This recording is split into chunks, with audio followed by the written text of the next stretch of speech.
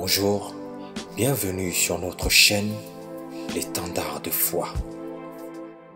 Alors, si aujourd'hui je me permets de m'adresser à toi, si je me permets de me présenter devant toi, c'est parce que le Seigneur a quelque chose à te dire. Je te raconte le songe que le Seigneur m'a fait grâce de voir afin de bénir, d'interpeller son peuple. Alors c'est parti. Je me retrouve dans une église en train d'observer ce qui s'y passe. L'église au départ vaquait à son culte habituel. L'église était dans l'adoration, dans la louange, concentrée sur le message du prédicateur après. Et tout d'un coup, je vois un médecin accompagné, assisté par un autre en blouse blanche. Il vient d'entrer dans l'église avec un homme qui semble être un frère. Et il semble qu'il faisait partie de l'assemblée des fidèles de cette église. Et le frère était victime du Covid-19. Et il paraissait qu'il avait été à cette assemblée quelques jours avant et qu'il avait contaminé les autres. Après que ces médecins, ces hommes en blouse blanche avaient donné ces paroles, avaient dit ces paroles à l'église, après avoir entendu cela, je vis les frères, les sœurs, les chantres, tous ceux qui étaient dans cette assemblée ont commencé à manifester une grande peur, une grande angoisse, beaucoup d'inquiétude qui venait de se saisir d'eux par ces chaînes. Il y avait beaucoup de bruit. Les uns parlaient aux uns les autres. Plus personne n'était concentré sur le prédicateur qui était sur l'autel. À cause de cette nouvelle, la foi de tous semblait être ébranlée. Tout le monde était paniqué dans cette assemblée. Et tout semblait être figé. Tout semblait s'être arrêté. Les uns communiquaient à leurs voisins le plus proche de ce qu'ils venaient d'entendre de ces médecins.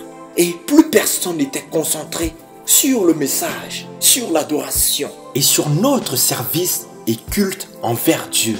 Tout semblait avoir été désorienté, mis en désordre, chamboulé. Et le fait de voir cet événement, c'est comme si personne ne savait plus le chemin pour se présenter devant son Dieu. Et tout le monde était perdu. Personne ne savait où donner de la tête. Et après avoir constaté cela, je me vis monter sur l'autel comme poussé par une force. Et je dis au peuple, le Seigneur a quelque chose à vous dire. Et voici les paroles qui sortaient de ma bouche après avoir reçu le micro. Voici ce que le Seigneur a à dire. Vous venez de me louer par des cantiques merveilleux. Ne considérez-vous pas les paroles qui ont été dites? Vous chantez ma grande puissance à longueur de journée. Vous chantez ma délivrance, ma libération, ma bonté, mon salut à longueur de journée. Mais voici une situation qui vient d'arriver subitement dans l'église. Des frères ont été touchés des femmes ont été touchées, des prédicateurs ont été touchés, des enfants ont été touchés. Et tout d'un coup, beaucoup dans le corps de Christ ont été atteints par l'angoisse, par l'inquiétude, par la peur. Beaucoup parmi vous se sont retrouvés à se questionner sur le lendemain, alors que le Seigneur dit dans sa parole, dans le livre de Matthieu 6, de ne pas nous inquiéter pour notre vie de ce que nous mangerons, de ce que nous serons vêtus et de ce que nous boirons. Car chaque jour suffit sa peine. Je continue le message.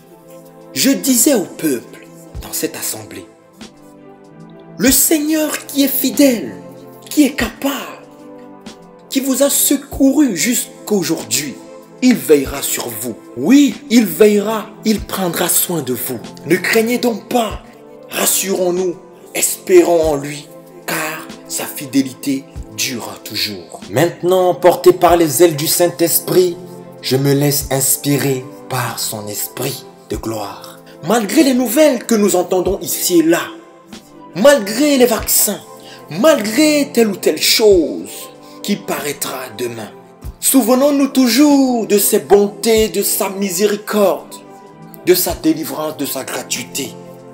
Car il est le Dieu qui veille sur le juste, qui secourt celui qui est dans la détresse et guérit celui qui est malade, délivre celui qui est possédé, affligé, oppressé. Il est le Dieu de restauration, lui en qui il n'y a ni honte de variation. Mes frères et sœurs, il est notre consolation et la seule solution. Alors, ne nous laissons pas gagner par la panique, le trouble et l'angoisse et les intimidations de l'ennemi. Car notre Dieu est celui qui secourt ceux qui ont mis en lui leur confiance. Alors, mes frères et sœurs, ne cessons pas de focaliser notre attention sur sa parole. Car oui, il est avec nous jusqu'à la fin du monde. Oui, celui qui est en nous est plus grand que celui qui est dans le monde. Oui, l'Esprit nous conduira dans toute la vérité. Il nous convaincra de péché, de jugement et de justice. Et ce qui n'est pas de la volonté de Dieu, ce qui n'a pas été planté par le Père, le Père le déracinera. Il le coupera, il le jettera dans le feu, il le jettera dehors, là où il y a des pleurs et des grincements dedans. Alors toi qui n'es pas encore enfant de Dieu, mon conseil, après avoir reçu ce message, c'est de donner ta vie consolateur, de donner ta vie au seul, l'unique sauveur, Jésus-Christ le Nazarien, et de mettre toute ta confiance en sa parole, en lui. Quoi qu'il se passe dans ta vie, espère toujours en lui, car lui seul est le Dieu qui veille. Il ne sommeille ni ne dort. Et toi qui es enfant de Dieu, qui a été troublé, qui a été troublé jusqu'alors, le Seigneur te dit, aie confiance mon fils, aie confiance ma fille, je suis avec toi. N'oublie pas que j'ai dit dans ma parole, je suis avec toi jusqu'à la fin du monde. Même si la tempête se lève, même si le vent souffle, même si les torrents s'agitent, je suis dans la barque de ta vie. Aie confiance, sois serein, je suis ton bouclier. Voilà, voilà, frères et sœurs, le message que je voulais partager avec vous. Une partie, je l'ai reçue en songe. Une autre partie, j'ai été inspiré lorsque j'étais en train d'enregistrer. Pour dire ce qui devait être dit. Pour avoir une pensée globale, une interprétation un peu plus claire du songe. Merci au Seigneur qui inspire ses serviteurs et ses servantes. À lui seul la gloire, l'honneur et la puissance dans les siècles des siècles. Amen. Amen. Sinon, que le Seigneur vous bénisse dans sa grande gratitude et sa grande longanimité qui nous convie tous à la repentance.